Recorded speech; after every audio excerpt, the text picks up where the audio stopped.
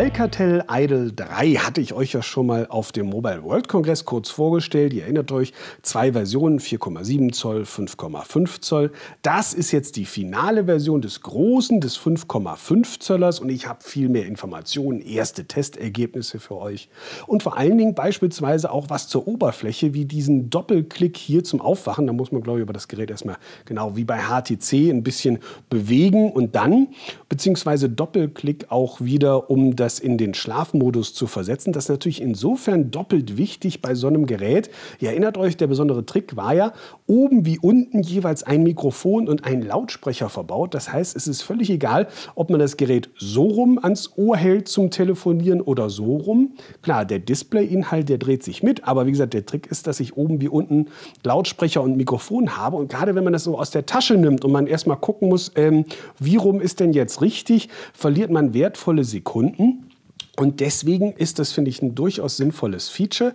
Und gerade dann kommt es natürlich darauf an, dass man sagt, ich muss nicht mehr nach diesem Ein-Aus-Standby-Taster suchen, sondern einfach Doppelklick hier auf den Bildschirm und dann, ihr seht, dreht sich das, einmal wischen oder was auch immer man für eine Displaysperre dann aktiviert hat und anschließend hier wieder auf eine freie Stelle tippen und dann ist das Ding wieder im Standby-Modus. Ihr kennt das Feature, aber gerade bei so einem Gerät, wo ich sage, es kommt nicht mehr auf oben oder unten an, ist das natürlich doppelt wichtig. Einzige Sache ist natürlich, dass man hier für die Selfies hier vorne, da muss man natürlich die Kamera schon hier oben halten. Es geht natürlich auch da unten, aber es ist halt ein etwas komischer Blickwinkel hier von so tief da unten. Es ginge zur Not auch rückwärtige Kamera sowieso. Da ist es völlig egal, ob man das so oder so hält. Ähm, äh, und bei den Selfies, ja, wie gesagt, wenn man auf die Optik nicht so einen dollen Wert legt.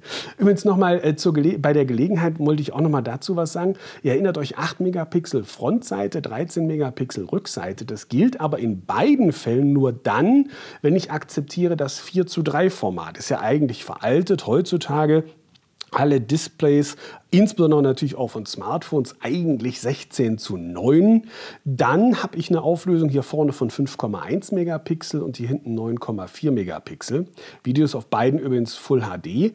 Ähm, und dieses 4 zu 3 Problem, das ist jetzt überhaupt nicht nur auf Alcatel gemünzt. Das äh, sehe ich leider immer noch, ich verstehe es gar nicht, äh, bei sehr, sehr vielen, ich würde sogar sagen, bei der Mehrheit der aktuellen Smartphones in allen Preisklassen sehe ich das immer wieder. Schade eigentlich. Da muss ich noch auf jeden Fall was tun.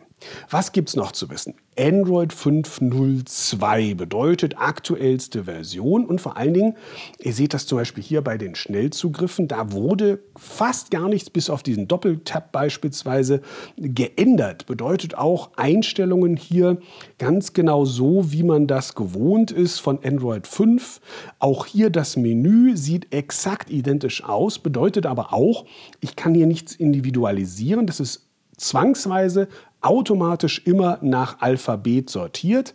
Alles, was ich individuell haben möchte, muss ich hier auf den Startbildschirm erledigen. Also hier per Drag and Drop, das kennt ihr, oder eben halt hier solche äh, Ordner dann bilden. Äh, von daher ist es auf der einen Seite positiv, fast natives Android. Auf der anderen Seite eben halt gibt es dann auch ein paar ähm, Nachteile dabei. Und das zweite, was Alcatel noch geändert hat, das sieht man hier im Lockscreen, dass man hier auf einen Doppelklick diese fünf Applikationen schnell starten kann. Äh, die kann man auch nicht editieren. Wie die Schnellzugriffe, das wisst ihr auch. Ich glaube, man muss das Ding vorher bewegen, wie bei HTC, und dann funktioniert das erst mit diesem Doppeltap eigentlich so.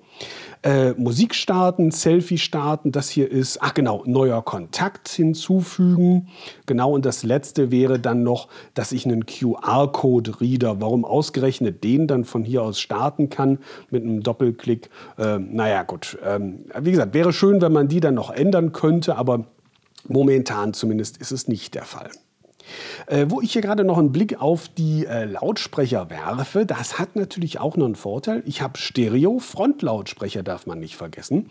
Und das ist gerade bei einem Video, finde ich persönlich immer, wenn man Videos sieht, bedeutet natürlich Querformat viel besser als beispielsweise im iPhone. Da sind die ja hier unten eingebaut. Wenn ich das Ding also so, wenn ich Bahn fahre oder was weiß ich wo, hält man das ja in der Regel irgendwie. Beim iPhone muss man dann ja immer den hier machen, damit man hier ja nicht oder, oder so, damit man ja nicht hier die äh, Lautsprecher verdeckt. Das ist hier sehr viel günstiger, finde ich immer mit diesen Lautsprechern hier. Und vor allen Dingen, die sind richtig dick und fett im Sound. Ich gebe mal kurz hier was wieder.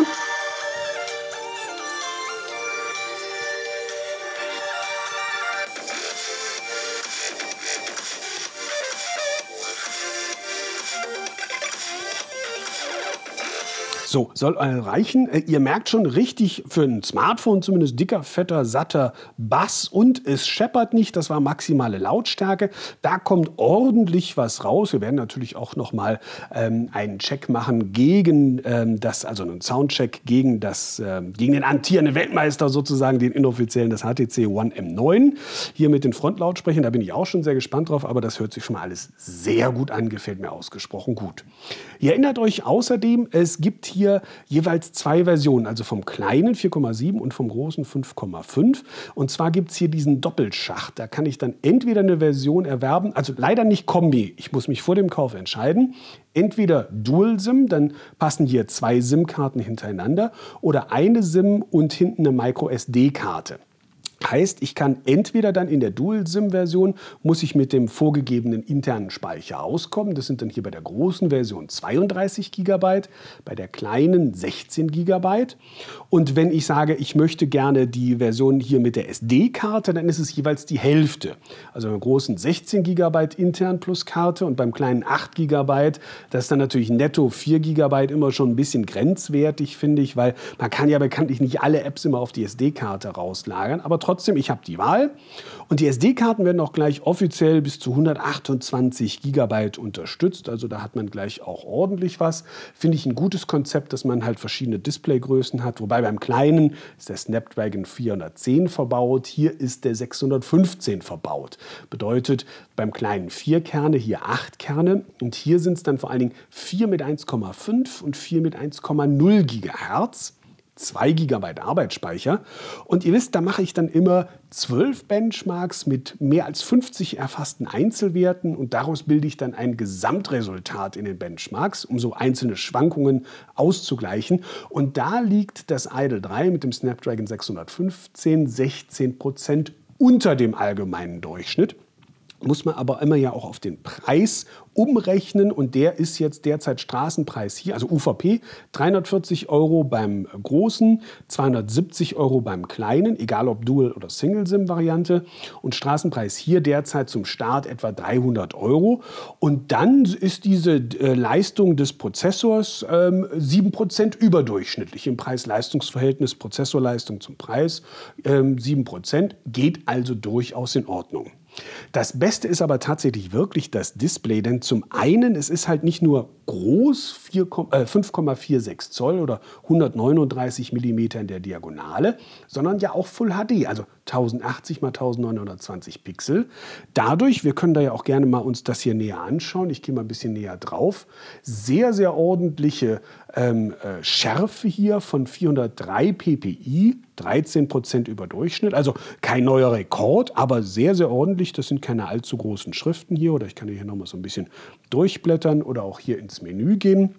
Also ordentliche Leistung und vor allen Dingen, ihr seht das auch hier schon an diesem hellen Hintergrund, äh, ich habe gemessen eine Helligkeit von 578 Candela pro Quadratmeter. Heller noch als die iPhones, 47 Prozent über Durchschnitt, also sehr hell, deswegen auch draußen im Freien immer noch halbwegs gut lesbar und nicht zuletzt IPS Dual Domain bedeutet, die Subpixel sind abwechselnd links und rechts sozusagen angeordnet. Deswegen ist das auf zwei Ebenen Blickwinkel stabil. Also noch besser, auch aus, das ist natürlich jetzt hier bei den Reflexionen immer schwer nachvollziehbar. Trotzdem, ich hoffe, ihr glaubt mir das also auch aus, äh, egal aus welchem Winkel sozusagen, immer sehr gut noch lesbar. Sprich, das Display ist wirklich ein absolutes Highlight. Es ist scharf, es ist hell, es ist qualitativ hochwertig, es ist groß und das dann für 300 ähm, Euro Straßenpreis ohne äh, irgendwelchen Vertrag dabei oder sowas. Das kann sich wirklich sehen lassen. Also sehr, sehr gutes Display an dieser Stelle. Und ihr habt gehört, äh, der Snapdragon-Prozessor ist immerhin für den Preis ordentlich. So, große Preisfrage ist natürlich aber hier, ihr seht natürlich, ich habe äh, sehr, sehr flach 7,4 mm lediglich. Ist natürlich klar, ich kann den Akkudeckel nicht öffnen, Akku ist fest verbaut. Der hat 2910 Milliampere-Stunden. Das äh, klingt jetzt wenig für 5,5 Zoll und deswegen kommt es immer dann auf die Testergebnisse an. Heißt bei mir Dauer-Video-Wiedergabe bei 200 Candela pro Quadratmeter, also relativ düstere Displaybeleuchtung, Automatik natürlich deaktiviert, Flugmodus, da hält der Kandidat hier 505 Minuten lang durch. Das ist ein naja, moderat gutes Ergebnis, 6% über Durchschnitt, aber man muss halt überlegen, 5,5 Zoll.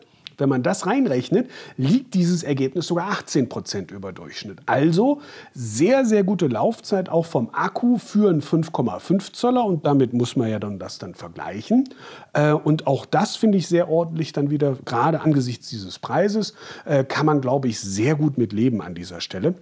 Und deswegen sowieso, LTE hatten wir schon Dual CHSPA, lediglich Wireless LAN AC nicht, aber immerhin Wireless LAN N 5 GHz unterstützte, hat natürlich jetzt keinen IP-Schutz oder ähm, ähm, ähm, ja, Fingerprint-Reader oder, oder Pulssensor oder sonst irgendwie sowas. Ähm, äh, klar kann man, glaube ich, auch in dieser Preisklasse nicht erwarten und ob man das auch wirklich in der Praxis regelmäßig braucht, lasse ich jetzt mal dahingestellt sein. Also weiterhin sehr guter erster Eindruck oder zweiter Eindruck auch hier muss muss ich ganz ehrlich sagen. Äh, deswegen bin ich schon sehr jetzt auf den finalen Test gespannt. Euch danke ich fürs Zuschauen. Macht's gut. Bis bald. Ciao.